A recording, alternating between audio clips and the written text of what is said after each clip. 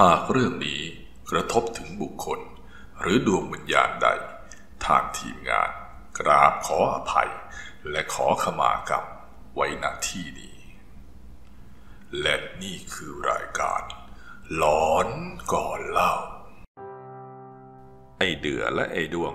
สองคู่หูสายดาร์กที่ขยันทำมาหากินแต่เรื่องชั่วๆ วันนี้มันทั้งสองได้มาทำภารกิจที่ป่าช้าต่างหมู่บ้าน แค่นี้จะไปพอยาไส้อะไรวะ ข้าว่าเอาอีกสักหลุมเถอะไอเดือข้าก็ว่ามันเองแหละไอดวง รีบหน่อยนะ เดี๋ยวพ่อมึงมา จากนั้นไอดวงก็รีบเอาพวดที่เตรียมมาขุดลงไปที่หลุมศพ สงสัยวันนี้โชคเข้าข้างเราวะไอเดือ รีบขุดเลยไอ้ดวง ข้าก็อยากรู้เหมือนกันว่าข้างในมันจะมีอะไร ไม่แน่ว่าเองกับข้าสองคนอาจจะได้เป็นเศรษฐีก็ได้นะเว้ยเฮ้ย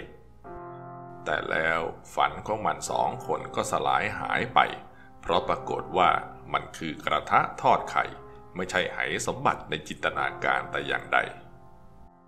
ไอ้ดวงถึงกับหัวเสีย มันรีบเดินออกจากที่เกิดเหตุ โดยไม่หันหลังกลับไปมอง แต่ไอ้เดือกลับไม่คิดอย่างนั้น ล้างๆขัดขัดๆข้าว่ายังพอได้ค่าเหล้าสักขวดสองขวดน่ะ หลังจากนั้นไอ้เดือก็รีบตามไอ้ดวงไป โดยปล่อยให้เจ้าของกระทะนอนตากน้ำค้างอยู่เพียงลำพัง หลังจากแยกทางกับไอ้ดวงไอ้เดือก็รีบเอากระทะ มาขายให้ร้านเฮียหงทันที วันนี้เองมีอะไรมาขายข้าไว้ไอ้เดือ เมื่อสิ้นเสียงเฮียหง ไอเดือจึงพูดว่า ของดีเลยเฮีย กระทะสมัยราชวงศ์ เมื่อไอเดือเล่นมุกแป๊กเฮียหงถึงกับหัวเสียจึงรีบสวนมันไปว่า ราชวงศ์พ่องเองสิข้าก็นึกว่าจะมีอะไรดีๆให้ข้าคราวหน้าถ้าเป็นหม้อราชวงศ์เองก็อย่าเสนอหน้ามาหาข้าอีกนะไอเดือรีบไปเลย จากเหล้าหนึ่งกลมเหลือแค่เพียงหนึ่งกักไอเดือรีบออกมาจากบ้านของเฮียหง แล้วก็ปล่อยให้เฮียหงยืนงงกับกระทะทอดไข่ที่เพิ่งได้ไป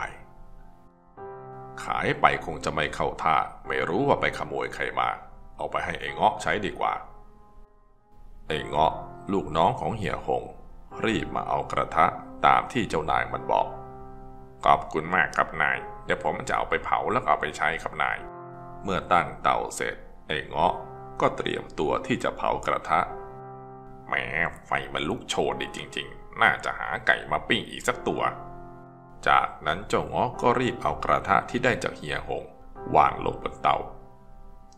พลันก็เหมือนมีเสียงอะไรบางอย่างดังมาจากกระทะใบนั้น ช่วยข้าด้วยข้าร้อนเสียงอะไรวะ เมื่อกระทะถูกความร้อน ก็ปรากฏว่าเกิดควันพวยพุ่งออกมา ราวกับภูเขาไฟกำลังจะประทุ แต่เมื่อควันสลายไป กลับกลายเป็นหน้าของชายที่ถูกไฟไหม้เกรียม เมื่อจ้องตากันได้สักพัก เจ้าเงาะก็เหมือนเพิ่งจะรู้ตัวว่าสิ่งที่อยู่ตรงหน้าคือสิ่งที่ชาวบ้านเรียกกันสั้นๆว่า ผี ถ้าบนฟ้ามีเครื่องบินขับไล่มิก 29 ด้านล่างก็คงหนีไม่พ้นเจ้าเงาะที่วิ่งไปด้วยความเร็วแทบจะเหนือเสียง เจ้าเงาะรีบวิ่งแจ้นไปหาเฮียหง พร้อมกับเล่าเหตุการณ์ให้เฮียหงฟัง มันโผล่ขึ้นมากลางกระทะเลยกับเฮีย ข้าก็รีบวิ่งหนีมาแทบจะเอาตัวไม่รอด เมื่อได้ยินเรื่องที่เจ้าเงาะเล่า เฮียหงก็พอจะเข้าใจ เนื่องจากแกขายของเก่ามากว่า 20 ปี แกจึงรีบบอกให้เจ้าเงาะ รีบเอากระทะใบนั้นไปโยนทิ้งโดยไวแกรีบเอากระทะใบนั้นไปให้ผลผลบ้านข้าเดี๋ยวนี้เลย จากนั้นเจ้าเงาะก็รวบรวมความกล้า เอากระทะใบนั้นไปทิ้งไว้ที่ข้างทาง ก่อนที่จะเดินจากไป โดยไม่รู้เลยว่ามีใครบางคนนั่งอยู่หลังต้นไม้นั้นภาพที่เห็นคือคนที่อยู่ในชุดดำท่าทางไม่ค่อยน่าไว้วางใจ แต่แล้วปรากฏว่าเป็นป้าแมว ผู้ที่มาหาเก็บเห็ดและแวะมานั่งเด็ดดอกไม้มันเอาอะไรมาทิ้งวะ ด้วยความสงสัยป้าแมวจึงรีบเดินไปดูที่ของสิ่งนั้นว่ามันคืออะไรกันแน่ เมื่อรู้ว่าเป็นกระทะก็ได้แต่สงสัยจึงพูดออกไปว่าของดีๆ มันเอามาทิ้งทำไมวะ แต่ก็ดีเหมือนกัน ข้าจะได้เอาไปใส่แกงเห็ดซะเลย เมื่อมาถึงบ้าน ป้าแมวก็นำกระทะใบนั้นมาใส่แกงเห็ด ในระหว่างรอแกงเห็ดสุกแกก็ได้แต่นึกในใจว่าวันนี้ทำไมโชคดีเหลือเกิน ที่ได้ทั้งเห็ดทั้งกระทะ แต่แล้วแกก็ต้องหยุดความคิดนั้นลงเมื่อได้ยินเสียงอะไรบางอย่างดังมาจากกระทะนั่นข้าร้อนเหลือเกินช่วยข้าด้วย เมื่อชัดเจนแล้วว่าสิ่งนั้นไม่ใช่เห็ดระโงก แต่เป็นหัวของผีกำลังชะโงกออกมาจากกระทะ ถึงแม้ป้าแมวจะตกใจสุดขีด แต่แกก็ได้รู้คำตอบที่แกสงสัยในตอนแรก ว่าทำไมกระทะใบนี้ถึงถูกทิ้งไว้ข้างทาง จากนั้นป้าแมวก็รีบเอากระทะมาวางไว้ที่เดิมก่อนที่จะเดินจากไป ไอ้เพียวหนุ่มขี้เหงาประจำหมู่บ้าน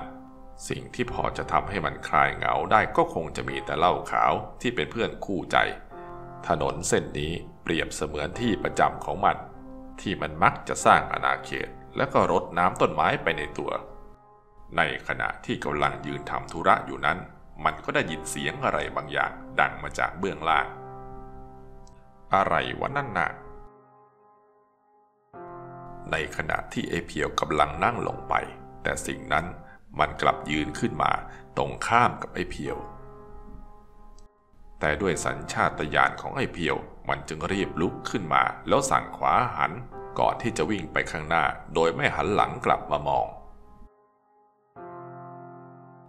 ผีหลอก เหมือนความร้อนทำให้ผีกระทะตัวนี้ งอกแขนขาได้ ราวกับจิ้งเหลน บัดนี้มันสามารถยืนเด่นเป็นสง่าพร้อมที่จะโชว์เรือนร่างของมัน ในขณะที่หัวของมันก็ร้อน ราวกับถูกแก๊ง call center โทรหาวันละสิบรอบ ป้าละมุดหญิงสาวคราวแม่ วันนี้ออกมาตามหารักแท้ของหนุ่มต่างหมู่บ้าน นั่นก็คือไอ้ด้วง ในขณะที่แกกำลังเดินอยู่นั้น สายตาของแกเข้าไปสะดุดกับอะไรบางอย่างเขาให้ จึงได้หยุดแล้วหันกลับไปมอง พร้อมกับถามว่า ใช่พี่ด้วงไหมจ๊ะนั่นน่ะฉันละมุดเองไงจ๊ะ ที่นัดกันไว้น่ะ ถึงแม้ไม่มีเสียงตอบรับจากสิ่งนั้น แต่มันก็ยังใจดีหันมาทักทายด้วยการเงยหน้าขึ้นมา เมื่อชัดเจนแล้วว่าไม่ใช่พี่ดวง ป้าละมุดก็บังคับส้นเท้าให้พาร่างของตัวเองออกมา ถึงแม้มันจะไม่ค่อยเต็มใจ แต่มันก็พาร่างของป้าละมุดหนีออกมาจากที่เกิดเหตุ เหตุการณ์ขวัญผวานี้เป็นที่ล่ำลือของหมู่บ้าน จึงไม่พ้นทิศหลอด สับปเหร่อประจำวัดได้มาสำรวจที่ป่าช้า มันเป็นอย่างนี้นี่เอง ต้องเอาเรื่องนี้ไปบอกหลวงพี่โดยไวแล้วไม่งั้นไม่ทันการแน่ จากนั้นชาวบ้านก็รวมตัวกันมาหาหลวงพี่มาโนดที่วัด มันก็เป็นอย่างที่ผมเล่านี่แหละครับหลวงพี่ เมื่อได้ฟังทิศหลอดหลวงพี่มาโนดก็ถึงบางอ้อ พร้อมกับเล่าเรื่องราวให้ชาวบ้านฟัง เรื่องมันเกิดจากเด็กน้อยคนหนึ่ง ที่พาฝูงวัวควายไปเลี้ยงกลางทุ่งนา แต่แล้วก็เกิดฝนตก และก็มีฟ้าผ่าลงมาที่ร่างของเด็กน้อย จนทำให้เสียชีวิตในที่เกิดเหตุ ด้วยความเชื่อจึงไม่สามารถนำร่างของเด็กคนนั้นมาเผาได้ เนื่องจากกลัวฟ้าจะผ่าซ้ำจึงได้นำไปฝังไว้ และนำกระทะมาปิดหน้า เพื่อป้องกันฟ้าผ่า อัตมารบกวนทิดหลอดและโยมเพียวไปนำกระทะใบนั้นมาด้วยนะ จากนั้นทิดหลอดและไอเพียวก็มาถึงที่หมาย ข้าขอช่วยอยู่ห่างๆนะ ทิดหลอด เอ็งนี่มันไม่ได้เรื่องเลย ในขณะที่สองคนนั้นกำลังกล้ากลัวกระทะเจ้ากรรมก็ขยับได้ ทิดหลอดเกือบจะเสียส่งสับเปลือต่อหน้าของไอ้เพียว เพราะแมวตัวเดียวที่อยู่ใต้กระทะนั่น เมื่อมาถึงป่าช้าหลวงพี่ก็ให้ทั้งสองนำกระทะไปปิดหน้าแล้วก็ฝังกลบไว้ตามเดิม จากนั้นหลวงพี่ก็ได้ขอขมาแล้วก็กล่าวกับดวงวิญญาณว่า หมดเวรหมดกรรมแล้วนะโยม ยังไงก็ขอให้ไปสู่ที่ชอบที่ชอบนะอาตมาคงทำได้แค่นี้แหละ จากนั้นหลวงพี่มาโนดก็เดินกลับวัดด้วยความอิ่มเอมใจที่ได้ช่วยทั้งชาวบ้าน และดวงวิญญาณที่ถูกฟ้าผ่าตาย ถึงแม้จะอยู่คนละภพพี่ดวงรีบกินสิจ้าเดี๋ยวมันก็เย็นหมดหรอก กระทะใบนี้ทำไมมันคุ้นๆเหมือนเคยเห็นที่ไหน ถึงแม้จะไม่มีเจ้าหน้าที่รับส่งพัสดุ แต่บัดนี้กระทะที่เชฟระดับมิชลินยังต้องหงายหลัง ได้ไปอยู่ในที่ที่มันอยากไป ดังคำที่หลวงพี่มาโนดบอกไว้ว่าไปสู่ที่ชอบที่ชอบ ถึงแม้ความเชื่อหลายอย่างจะดูเกิดจริง แต่บางครั้งหลายคนก็สัมผัสได้